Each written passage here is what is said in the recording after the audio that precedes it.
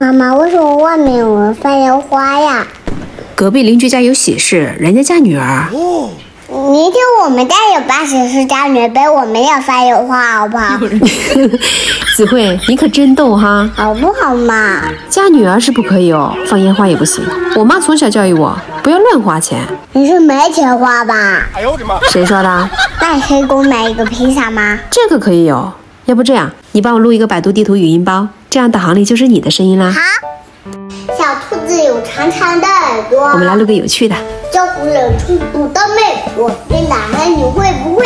走，买披萨去，顺便听听你录的语音包，好不好？啊，请进爱学的不到妹，鱼肉为你补刀。好吃不？好吃。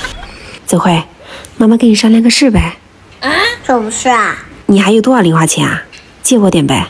你都三十岁的人了，你没钱我会有钱吗？不借就算了，这么凶干嘛？